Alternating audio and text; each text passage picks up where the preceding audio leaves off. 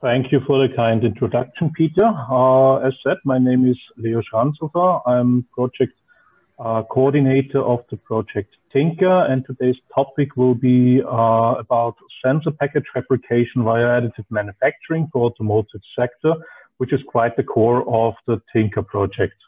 Uh, before I go a little bit into the details of the project, let me first introduce to you who we are. So who is Profactor? For those of you who are not familiar with, uh, we are a research institute uh, in Upper Austria, more precisely in Steyr. We are there since uh, 1995. Uh, we have also a small location in Vienna. Uh, we're about 75 employees and uh, roughly our turnover is about roughly 8 million per year. So uh, we have different research profiles here. Um, we have a strong focus in industrial assistance, assistance system, meaning, for example, uh, robots, human interactions, collaborative systems, uh, therefore flexible robotics, simulation-based optimization, and so on and so forth are required. And the other uh, main research topic in-house, uh, where I'm personally also from, is the additive micro nanofabrication. Here we focus on nano nanomicrostructures and functional surfaces. Since today is about printed electronics, you will obviously hear more on the functional surfaces from myself. Uh, let me uh, go in deeper into this a little. Uh, what we call here the uh, the nanostructuring. We focus on nano imprint lithography, uh, which is a structuring method of, on the nano level, also micro level, uh, focusing on large area and freeform substrates. Here, for example, on the top picture, you see our roll to plate uh, prototype line, uh, where we can uh, structure large area while the other part is additive inkjet printing, where we focus on multi-material printing, multi-layer printing, also combination with our robotics guys to print on freeform substrates in the, uh, for us, easiest way to do when you think about the background I presented. We have robotics and we have the additive, so why not combining these two together uh, and work on the print resolution to also uh, uh, break the boundaries regarding inkjet printing to go below the theoretical resolution with that. We have different solutions and applications for industry. As said, our focus here, we are, we are a small research institute. Uh, one can say we, uh, from a business model perspective, we are comparable to, for example, the Fraunhofer Gesellschaft or to Joanneum Research in Austria. So we try to bring basic research to industry, uh, if I may sum, sum it up uh, very briefly. So what we provide linked to our processes, linked to our research is a set nanostructures and freeform substrates. We also provide some products and tools.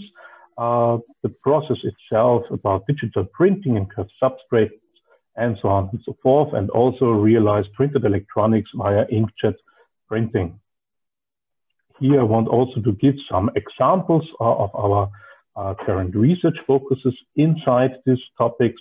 So uh, as said, we provide some machines here. We also focus uh, from time to time on uh, bioassays uh, and biosensing applications.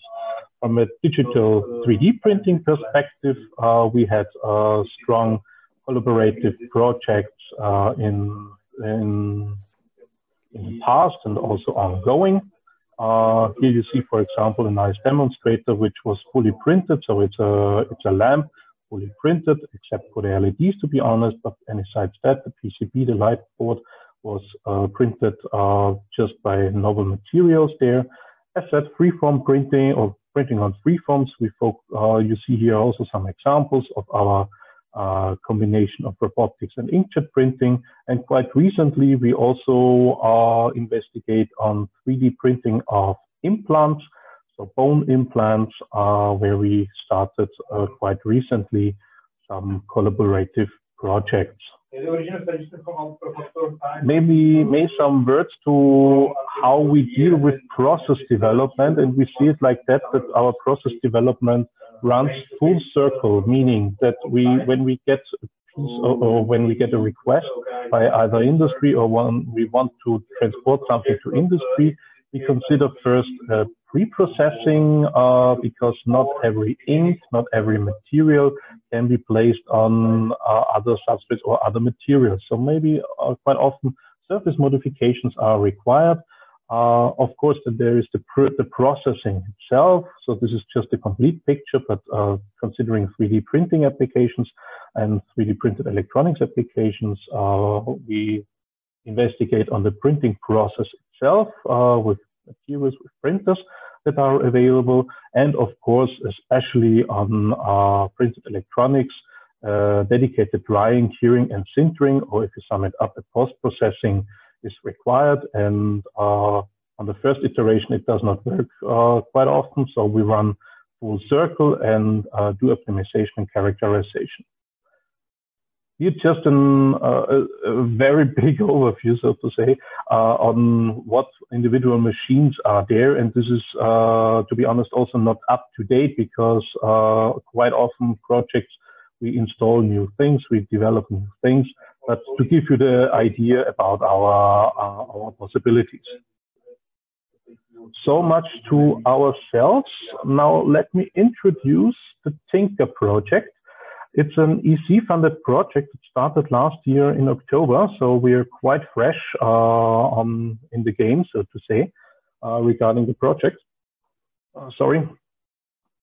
And let me first uh, let me elaborate a little bit on our target application. Uh, since the title of the project is uh, linked to sensor packages and also my title to the presentation here, uh, sensor packages are especially crucial for self-driving cars, which is quite an emerging technology in recent years and becoming more and more important. Uh, self-driving cars, uh, I don't know, uh, I am a kid of the 80s, so I remember, for example, Knight Rider, which was awesome uh, as a kid. So uh, self-driving cars uh, require, of course, some dedicated processing, strong, um, strong processing behind, strong computing behind, but of course also tracking the surrounding.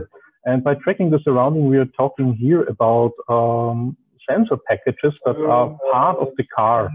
Modern or recent uh, newspaper articles or uh, press releases always show, and if you just Google it, um, you find uh, quite often some some demonstrators, some um, uh, some nice cars driving by itself, but always there is a little bit of bulkiness behind. So think of, for example, these big uh, parts that are placed on the top of the car that uh, that's representing the lidar sensor that uh, target that tracks the surrounding. Uh, but if you want to go forward with that, you run into certain issues here. Here also summary where such uh, sensors are placed in the car, and you see quite everywhere because you need to track the surrounding basically everywhere. Um, of course, there are individual uh, levels of self-driving cars and uh, the self-driving approach. Uh, and we are currently the, uh, between two and three. So hands-off driving partially is possible. Think of uh, the self-parking cars. You just uh, can put your hands off the wheel and uh, it parks by itself. So this is possible, or uh, it drives already by itself, but it's not fully autonomous yet. So we are on to it, and uh, there are certain um, predictions when it happens. I will not tell you any number because this is uh, still open, but to get the idea where such uh, sensors are required let me tell you a bit uh, more in detail about our motivation here and why we picked this up um, in especially in the autonomous sensor. Uh, a lowered weight, a lowered power consumption is a strong need because uh, when you talk to or when when you when you want to establish there something, there are immediately two questions uh, that arise when you want to bring something new into the car. The one is how, what's the weight of the thing and uh, what power it consumes. The second would be then, of course, of course, the costs, but the, the, the weight and the power consumption are the two most important um, feed, uh, most important characteristics that such a thing should consist, as, and especially with uh, also considering also uh, improved performance and reliability. This is also, of course, important. But as said, the most important is a reduction in weight and the reduction in power consumption. As said, think of the big bulky LiDAR sensor on top of the car. Uh, this is nothing that's feasible for, um, for mass production. From an industrial pool, so to say, what we want to push is to improve the miniaturization level because this comes in hand with the reduction of power and reduction of weight to get the sensor devices, the sensor packages smaller. For this, we set the goal uh, of our Tinker project uh, to by two main or two main goals. On the one hand, we want to establish a fabrication chain, a pilot platform uh, that addresses this uh, in this uh, this market need uh, to improve um, our fabrication processes to that way to that level that we indeed address this uh, these issues here.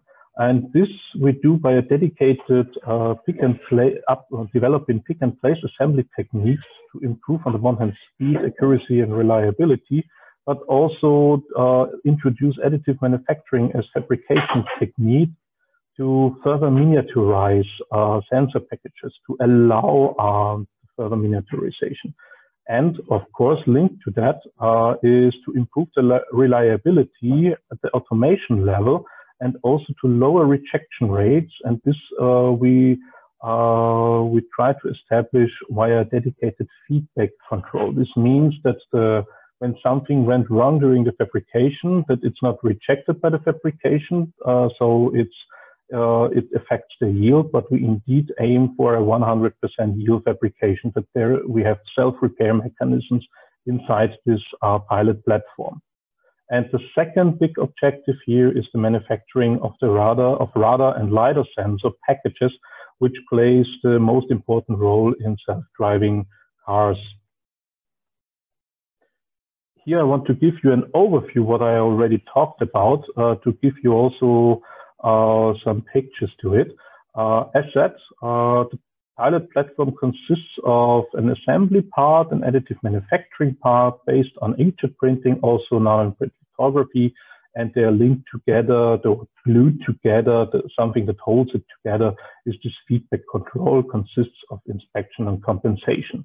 So the idea is that we feed in into this platform our sensor bare dies that are processed, uh, structures are built on, off, uh, and so on, and we end up with sensor packages uh, for radar and LiDAR applications in the automotive sector some project facts, uh, because this is uh, what I forgot until now. As said, uh, the project started last year in October. It's a three years EC funded project out of the Horizon 2020 program. Here you see the consortium, the partner logos. Uh, so if you need to sum it up somehow, we are, we are 10 key industrial partners ranging from automotive sector, um, to material supply and process developments, uh, rounded up by three research institutions and two consultancy and service associations.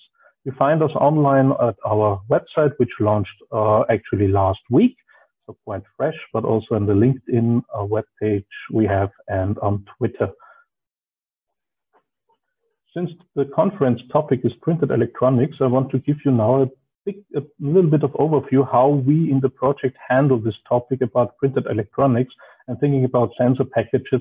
Uh, it's more or less all about electronics, but not just. So uh, I want just to give you a small uh, insight what we are dealing with. First of all, we have some material development topics, printer development topics, obviously with the pilot line aspect there.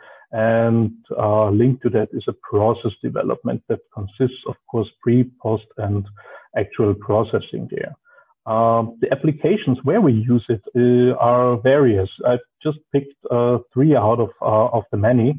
Uh, one is uh, a direct integration of sensors, so the bare dies assisted by inkjet printing on the one hand. On the other hand, a multi-layer PCB fabrication uh, on the fly, so to say, in the in the line, so that you feed not just also in uh, PCBs, but also to try to print it inside uh, the pilot line, and obviously also a dedicated post processing.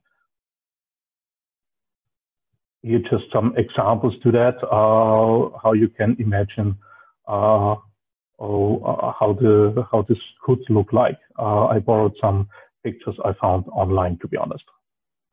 Uh, with talking about materials, uh, we have also PV NanoCell today, today with us.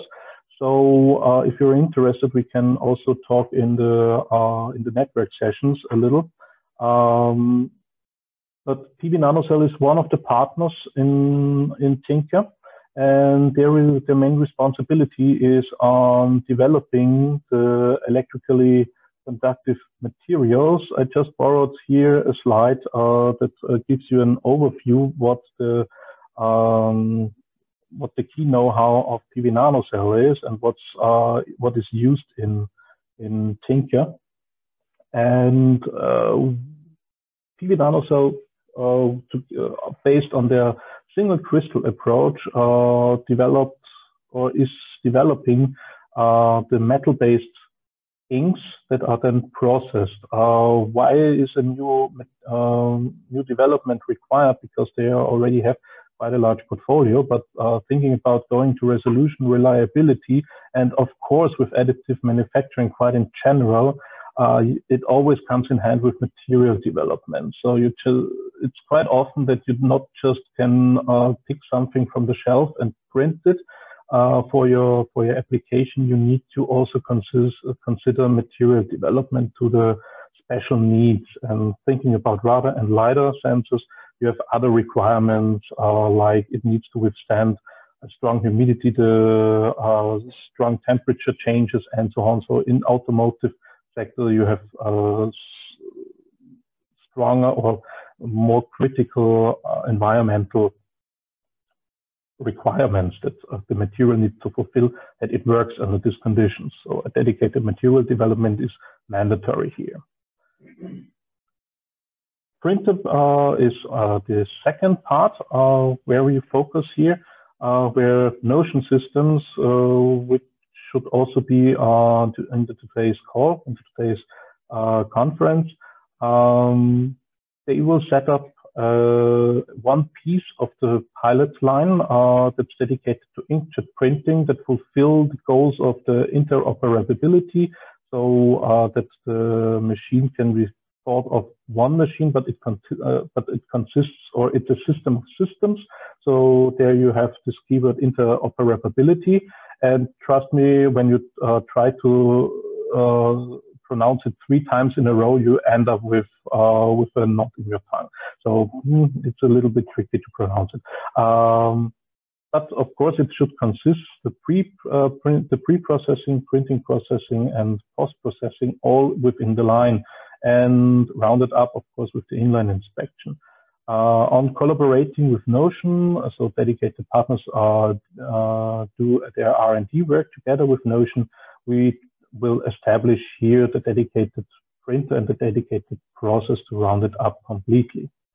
Uh, the processing itself, as uh, already teased before, we have a pre-processing uh, to improve the adhesion of the material. Here we can uh, play a little, uh, not just by the material, but also in the process itself. The printing itself, here one example of, of a printed electronics board uh, um, from, from ourselves or from Profactor. Uh, here we focus on the multi-material printing basically of printing electrically conductive together with dielectric material together with other materials I didn't mention so far which are also part of the project uh, and of course do a dedicated post-processing. So an inline curing and also especially an inline sintering. Otherwise we cannot be, uh, uh, cannot improve, for example, of fabrication times and so on if we need to do it outside. Uh, and of course, when thinking of printing a PCB, uh, you need to be uh, to, to do this on the fly. Otherwise, you cannot compete.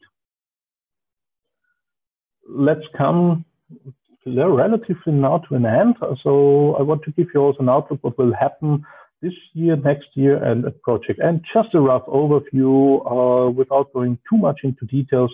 So this year we are we aim to set up the pilot line already with the supporting tools and obviously also do process and material development there. In 22, we start to fabricate uh, the prototypes already on the pilot line. And in 23, you see the demonstration and validation. So please stay tuned. As said, follow us on the on our online presence. If you need, uh, if you want to contact us, you can either way directly contact me or my colleague from company Amires, who acts as a dissemination and exploitation manager. With this, thank you for your attention and see you at the virtual network break.